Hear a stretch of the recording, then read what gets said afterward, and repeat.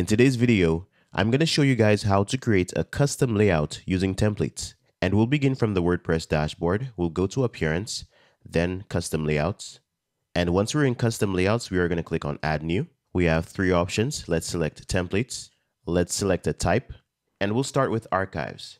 Now let's call it News. And we'll click on Create Custom Layout. Now we need to select an archive template. So we'll click on this plus in the top left hand corner and we'll choose patterns. We'll click on explore. Now let's choose Neve patterns. And now all we need to do is select a template. So for now, we only have three archive templates. I'm going to choose the first one.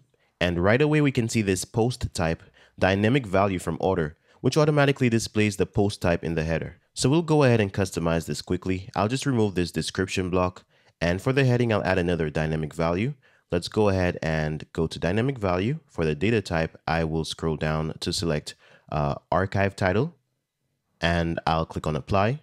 And now I'm just going to click outside of this block. And on the right, I'll go to custom layout settings. Now under conditional logic, let's select archive term is equal to news. So basically this will only be applied to the news category.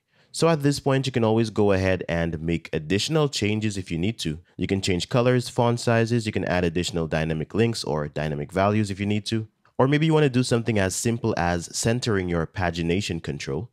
In my case, I'll actually do this. I'll just put this in the center. And since I'm done, I'll go ahead and publish the custom layout. And I'm going to right click on this W over on the left. I'll open it in a new tab and let's go to the post categories. Now let's view the news category. And here's the archive layout that we just customized. So now we can go ahead and check out the single post. We're going to close this tab and we're going to go back from here. Let's also add a new custom layout. We'll go to templates, then single post. Let's also name this single post, create custom layout. And once again, we'll click on this plus. We'll go to patterns, explore, Neve patterns, this time we are going to scroll down and these are our single post templates. Let's use this one. And now we are going to go ahead and customize it. So I think I'm going to remove the author image. I'm going to click on it and in the toolbar, I'll click on remove image. And we also have a bunch of spacers here that I'm going to remove. I'm going to remove this one first and I'll remove this one as well. Okay. And I think so far that looks good. I'm also going to remove this block with the social icons, but in your case, you may decide to keep it, or you can also just reposition it, but I'll remove it instead. And finally, I'm going to remove this last spacer, and I think that looks fine. So I'm going to publish this custom layout.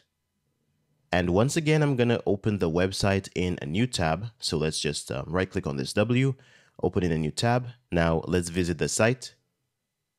Now from this page, we'll go to news and we'll just open any blog post. So here we have our single post layout, but it's also under Neve's default single post header. And that means the post title is being displayed twice. It's up here and here as well. To fix this, we'll need to go to the customizer, then layout, then single post, and we'll change the header layout back to normal. Okay, so we can see that it's gone. At this point, we can click on publish. And that's it.